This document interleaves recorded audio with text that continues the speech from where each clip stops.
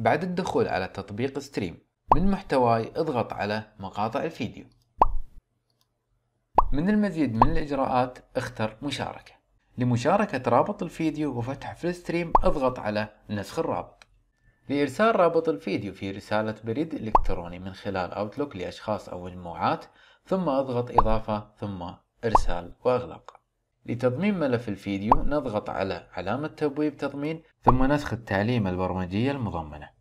لحذف الفيديو. اضغط على المزيد من الإجراءات ثم حذف. اقرأ بعناية بيانات هذا الفيديو ثم اضغط حذف هذا الفيديو.